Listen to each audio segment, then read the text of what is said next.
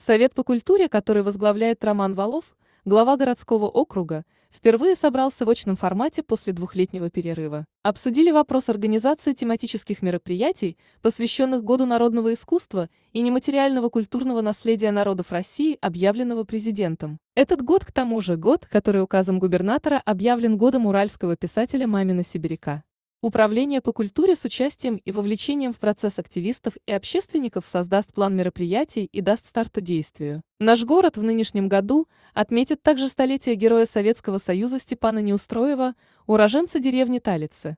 Этому событию тоже будут посвящены массовые мероприятия в городском округе. Более глубоким изучением истории Великой Отечественной войны и ее героев, земляков займутся школьники и те, кому интересна история родного края. Чем больше населения окунается в эту проблематику, осмыслит ее, тем лучше.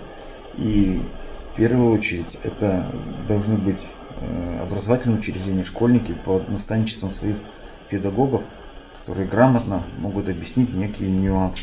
Сонные уроки мужества, это изучение истории, классные часы, это экскурсии. Это в принципе они это делали всегда. Почему и назрела эта необходимость проведения такого тематического года? Есть потребность населения в эту тематику окунуться и поговорить поподробнее. Потому что ну, люди готовы сегодня это обсуждать.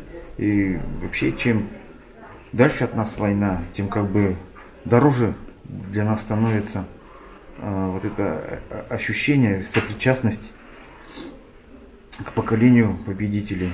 И вот все мы знали Неустроева, но почему-то именно вот в последние годы мы стали о нем говорить как-то с особой гордостью и с трепетом, что ли. Знаешь, что это наша. Вот.